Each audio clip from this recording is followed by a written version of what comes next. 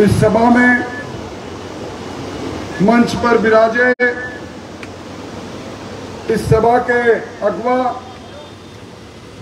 पूर्व केंद्रीय मंत्री और राजस्थान लोक सेवा आयोग के अध्यक्ष रहे सी आर चौधरी साहब। इस झुंझुनू ज़िले में भारतीय जनता पार्टी के परिवार की अगुवाई करने वाले पवन जी, यहाँ के ज़िले के प्रथम नागरिक हसनी जी, अभी अभी जिनकी बात आपने सुनी, राजस्थान विधानसभा के तेज तरार नेता भाई रामलाल जी सम्मान्य बगड़ी साहब, युवा नेता राजेश जी प्रधान गिरधारी जी बहन सुशीला जी, भाई संजय जी, अंगद जी, और मेरे सामने विराजित, आज इस परिवर्तन के संकल्प में अपने संकल्प को एक इरादे के साथ मिलाने आए। इस मंडावा के गाँव से आए किसान भाइयों शक्ति माताओं और बहनों। चौदह दिन पहले इसी मंडावा के अंदर हम इस अत्याचारी सरकार के विरुद्ध में एक बड़ी सभा करके गए थे। आज ये सभा उस अश्वमेघ यात्रा की सभा है, जो पूरे राजस्थान के उत्तर, पूर्व, दक्षिण चारों दिशाओं में चल रही है। आज तेरहवें दिन इस यात्रा के हम आप लोगों के बीच में हैं। यह पांचवा जिला है। और मैं मेरे अनुभव से कह सकता हूँ कि यह परिवर्तन की यात्रा अब जन यात्रा बन गई है। यह परिवर्तन की आंधी यह तूफ़ान बन गई है। यह सरकार जो अपने अंतिम दो सप्ताह में तक की सरकार बची है। आज जब मैं आपसे बात कर रहा हूँ, चुनाव आयोग का प्रतिनिधिमंडल राजस्थान में सब बैठक कर रहा है और उसके बाद दो सप्ताह के अंदर अंदर आचार संहिता लग जाएगी। चुनाव की धुंध भी बच जाएगी और मैं दावे के साथ कहता हूँ जिन जिलों में मैं गया हूँ। और विशेष तौर पर ये शेखावाटी, ये वीरों की भूमि, ये शहीदों की भूमि, ये अर्पण और तर्पण की भूमि, इस भूमि में लोगों ने ठान लिया है कि हम इस अत्याचारी सरकार को हमेशा हमेशा के लिए, पाँच साल के लिए मिटा दी। कितना बदलाव है। सीआर चौधरी साहब मंच पर बैठे हैं। सीआर चौधरी साहब, आप और पीसीए के चेयरमैन थे। मैं और तत्कालीन गृह मंत्री गुलाब चंद जी कटारिया एक कार्यक्रम में, एक विश्वविद्यालय के कार्यक्रम में अजमेर में आए।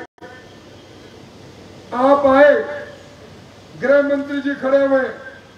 मैं खड़ा हुआ, पूरे पंडाल में तालियाँ बजी, इसलिए बजी एक निष्पक्षता के साथ हमारे भावी प्रशासन और शासक बनने वाले, लोगों का चयन करने वाला निष्पक्ष व्यक्ति आया है। और आज जब भाई राजेश बाबल आपको कह रहे थे कि पूर्व आरपीसी के चेयरमैन बैठे हैं, आप धीरे से मुझे कुड़ी लगाकर कह रहे थे, मेरे नाम के आगे आरपीएससी का चेयरमैन कहना बंद करो। आप ये कह रहे थे आरपीएससी में जिस प्रकार की लूट और झूठ चली है, और आप भी मुझे कह रहे थे, आज़ाद भारत में पहली बार आरपीएससी का कोई मेंबर जो चीफ सेक्रेटरी से भी ऊपर ओहदे का होता है, जिसे मुख्यमंत्री स्वयं दक्षत से नामजद करते हैं, आप ही ने कहा वो जेल के सीखचों के पीछे है। ईडी उससे पूछताछ कर रही है बाबूलाल कटारा से। और वो ईडी को कह रहा है, मैंने एक करोड़ पचहत्तर लाख रुपया देकर मैं आरपीएससी का मेंबर बना हूँ। कितना फ़र्क आ गया इन बातों एक सरकार वो, जो सच्चाई के मार्ग पर चलती थी, और एक सरकार ये, जिसने पेपर लीक करने में, और पेपर लीक करने में भी ऐसे लोगों से लीक करवाए दूध की रखवाली दिल्ली को बैठा दिया। भाई आज मैं पटवार पटवार संघ के एक ज्ञापन को देख रहा था। पटवार संघ ने ज्ञापन दिया कि हमने आपके राज में मैं सियार साहब आपका ध्यान आकर्षित करना चाहूँगा। आज खबर भी छपी है। पटवार सिंह ने कहा कि किसानों की बीस हज़ार किसानों की ज़मीन हमने एक, दो, तीन करके नीलाम की। कर्जा मगुन किसानों ने चुकाया नहीं। सरकार ने वादा किया था। उन किसानों को जब वो डिफॉल्टर हो गए और जो नोटिस निकला, रोडा एक्ट के अंदर डेढ़ परसेंट कमीशन मिलता है जब ज़मीन नीलाम होती है किसान की तो पटवारियों को 48 करोड़ रुपए मिलना था उनको। ये मैं नहीं कह रहा। राजस्थान का पटवार संघ कह रहा है, चौबीस करोड़ तिहत्तर लाख मिले हैं और कह रहे हमारी और राशि चुकाओ। तो भैया, ये इन्होंने तो कहा था ना, कर्जा पूरा माफ़ हो जाएगा। अब इनकी तो ज़मीन नीलाम हो गई। उन्नीस हज़ार छह सौ किसानों को नोटिस मिले हुए हैं। एक लाख चौबीस हज़ार किसान इनके खाते एनपीए कर दिए। आप भी अपना अपना खाता संभाल लेना ये सपनों की सौदागर है सरकार, सपने दिखाकर सपनों को तोड़ना जानती है अभी आने पर हमारे रथ के सामने मैंने इस मंडावा में एक बड़ा बदलाव देखा। अकलियत के भाई और विशेष तौर पर मलसीसर के लोग स्वागत कर रहे थे। मैंने धीरे से पूछा ये बदलाव क्यों है? उत्तर मिला जब थानेदार पर हमारे जिनको हमने उपचुनाव में वोट देकर भेजा। थानेदार को इशारा करते हैं, शोएल खां को पकड़ कर लाते हैं, पीट पीट कर उसका पाँव तोड़ देते हैं, हम गुहार करने जाते हैं। हमें उत्तर मिलता है, ये काम तो ऐसा ही होगा, इसलिए हमने तय कर लिया। कैसे अत्याचारी सरकार के विरुद्ध में खड़े होंगे? भाइयों, मुझे तो बड़ा अचंबा हुआ। मैंने तो सोचा था इस रेंज में एक आईजी होगा। आपके इस मंडावा में तो ये शोराम जी जाखड़ आईजी से भी बड़े हो गए भाई। कौन है शोराम जी जाखड़? क्या मेरे मेरे पास भी मेरे गनमैन चलते हैं? एक गनमैन पूरे शासन प्रशासन को चलाए और मर्ज़ी जो कहे, कभी किसी सरपंच और मुकदमा हो जाए, कभी किसी राय माता की ज़मीन पर रास्ता काटने के लिए आगे आ जाए, कभी ज़बरदस्ती मोजास में जाकर उद्घाटन हो जाए, कभी कमाल सर में, मुझे तो बड़ा अचंबा हुआ और मैं आपको भी कह रहा हूँ, मेरे को बड़ा दर्द भी हुआ। यहाँ हमारा नेतृत्व तो बैठा है। ये कमाल सर की घटना, उस सरिता छोटी महिला की घटना, आपस का झगड़ा होता है।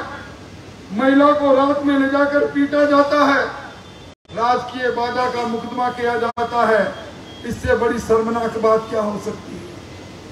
ये कैसी सरकार और कैसे प्रतिनिधि आप सब लोगों ने, हम गली गली में गए थे, उपचुनाव में गए थे आप चार साल पहले, जब इस गली गली के अंदर यहाँ कांग्रेस के मंत्री घूम रहे थे, हर गाँव में कहे कि स्कूल ले लो, वोट दे दो। फिर कोई कह, सड़क ले लो, वोट दे दो। फिर कह रहे थे, कॉलेज भी खोल देंगे, वोट दे दो। फिर नौकरियाँ बांटनी चालू कर दी। फिर बोला, कर्जा पूरा माफ़, वोट दे दो। आपने कितने वोट दिए? याद कर लो आप। फिर आपके वोट से, मत की पेटी से ऐसे अहंकारी प्रतिनिधि को आपने चुना, जिसका भुगतान आपको करना पड़ रहा है। आज राजस्थान के अंदर बिजली की कटौती से किसान हैरान और परेशान है। उस वक्त ऊर्जा मंत्री जी यहाँ कहकर गए थे कि आपके सारे बिजली के पेंडिंग कनेक्शन पूरे हो जाएँगे। आपको 24 घंटे घर में बिजली मिलेगी।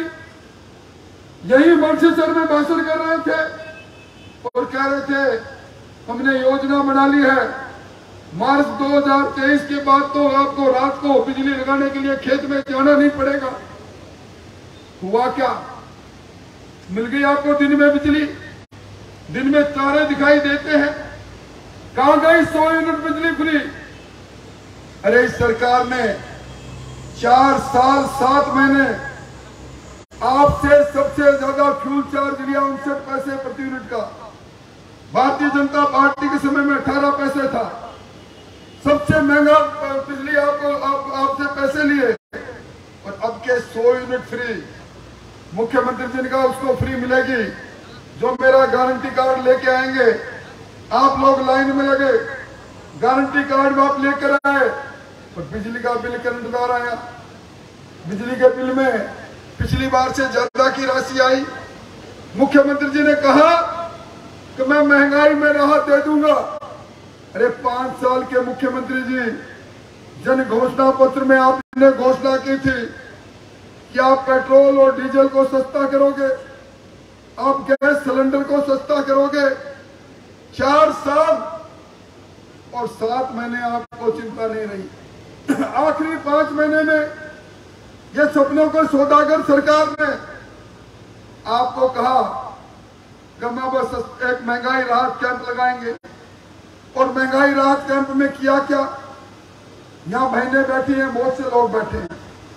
ये विधवा पेंशन, ये वृद्धावस्था पेंशन जब वसुंधरा जी थी तो पाँच सौ रुपए थी, साढ़े सात सौ रुपए हुई। आपको किसी को कैंप में नहीं बुलाया क्योंकि पीपीओ जारी हुआ था। इन्होंने साढ़े सात सौ में ढाई सौ की बढ़ोतरी की और लाइन लगवा ली बुज़ुर्गों की, लाइन लगवा ली विधवा बहनों की। आपको ढाई सौ रुपए बड़ी विधवा पेंशन कब मिलेगी जब मेरी फ़ोटो लगे हुए गारंटी कार्ड लेकर जाओ। ये जो नाटंकी कर रहे हैं, ये गैस सिलेंडर की बात कर रहे हैं। मैं जुम्मेवारी से कहकर जा रहा हूँ, इस गैस सिलेंडर के अंदर ये पाँच सौ रुपए की जो सब्सिडी की बात कर रहे हैं, चार सौ रुपए मोदी जी की सरकार। चार सौ रुपए मोदी जी बेचते हैं। आपको बाईस महीने से प्रधानमंत्री अन्न धन योजना के अंदर राजस्थान में चार करोड़ उपभोक्ताओं के पास हर महीने पाँच किलो गेहूँ प्रति उपभोक्ता या पाँच किलो चावल, एक किलो दाल पहुँच रही। कोरोना के काल से पहुँच रही है। और मुख्यमंत्री जी कहते हैं कि मैं दे रहा हूँ। हाँ आजकल वो अन्नपूर्णा किट ज़रूर दे रहे हैं। कह रहे हैं एक करोड़ लोगों को दूँगा।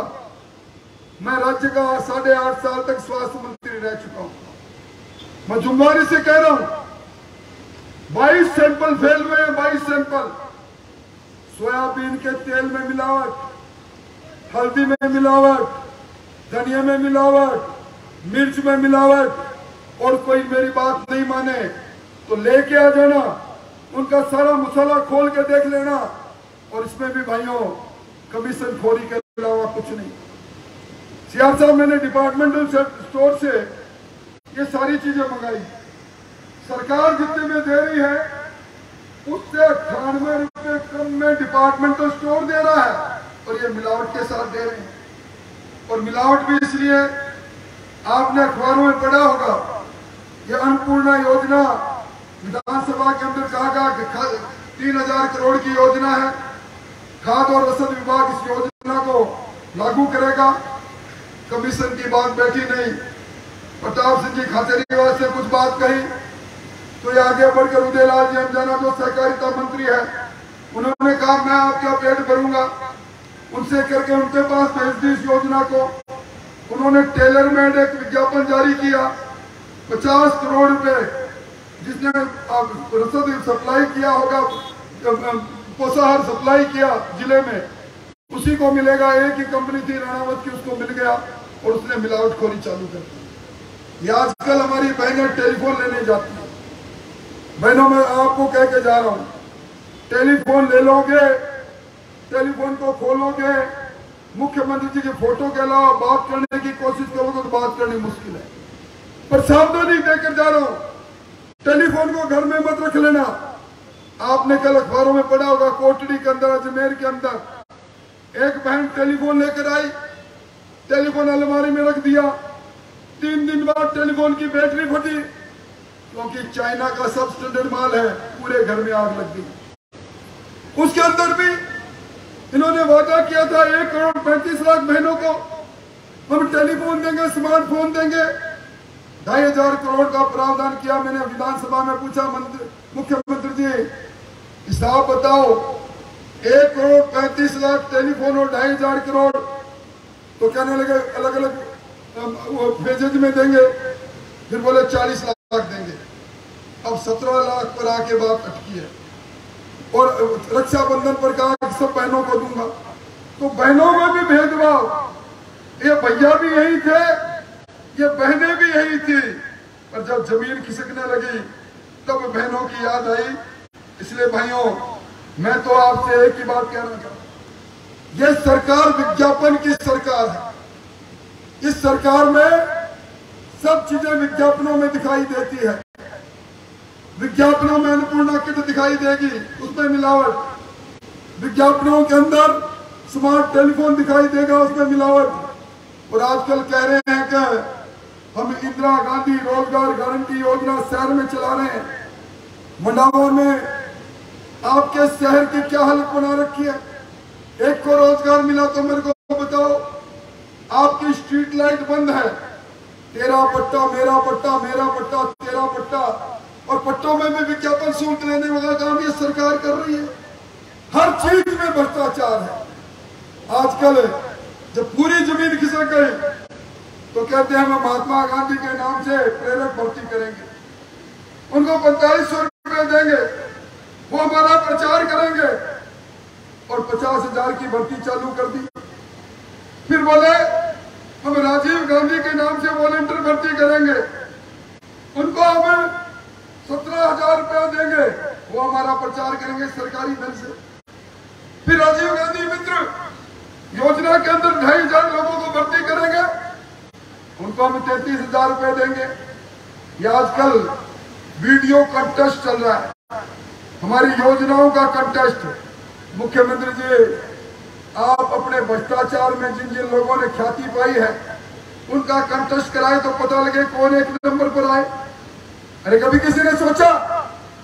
सरकार में मंत्री रहे, चार बार विधायक रहे, भरत सिंह, मुख्यमंत्री जी को कहते हैं आपका ईमान मर गया।